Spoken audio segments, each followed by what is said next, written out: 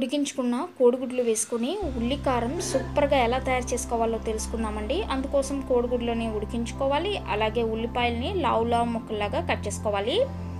అయితే ఇది రోటిలో దంచుకోవాలండి. అందుకోసం ముందుగా రోటిలో ఉల్లిపాయలు వేసుకొని ఉల్లిపాయలని దంచుకోవాలి. ఇలా దంచుతూ ఉన్నప్పుడే వెల్లుల్లి రెబ్బలు ఉప్పు కారం కూడా వేసుకొని బాగా దంచుకోవాలి. ఈ విధంగా దంచిన తర్వాత ఆఖరిన కొంచెం జీలకర్ర వేసుకొని ఒకసారి దంచుకోవాలండి. ఈ విధంగా దంచుకున్న తర్వాత ఈ ఉల్లిగడ్డ ముద్దని ఒక ప్లేట్లోకి తీసుకోండి. ఇప్పుడు స్టవ్ ఆన్ చేసుకొని బాండీ పెట్టుకోండి. బాండీలో కూరకి తగినంత నూనె వేసుకొని తాలింపు గింజలు వేసుకొని తాలింపు గింజలు వేగిన తర్వాత నూరి పెట్టుకున్న ఉల్లి ముద్దను వేసుకొని కొంచెం సేపు ఉడికించుకోవాలండి. ఉల్లిపాయ ముక్కల్లోని కొంచెం పచ్చివాసన పోయేంతసేపు ఉడికించుకోవాలి. ఇలా ఉడుకుతూ ఉన్నప్పుడే పసుపు అలాగే కరివేపాకు వేసుకొని ఒకసారి బాగా కలుపుకుందామండి. ఇప్పుడు ఉడికించుకున్న కోడిగుడ్లకు ఘాట్లు పెట్టుకోవాలండి.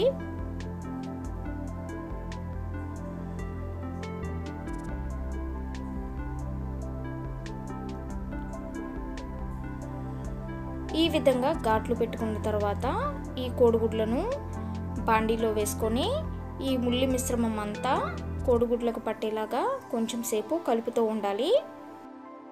మనం ఘాట్లు పెట్టుకునేసరికి ఈ ఉల్లి మిశ్రమం అంతా కోడిగుడ్డులో కూడా వెళ్ళి కోడిగుడ్డు అనేది చప్పగా లేకుండా రుచిగా ఉంటుంది. ఇప్పుడు ఆఖరిన కొత్తిమీర అలాగే ధనియాల పొడి వేసుకొని కలుపుకుంటే చాలు.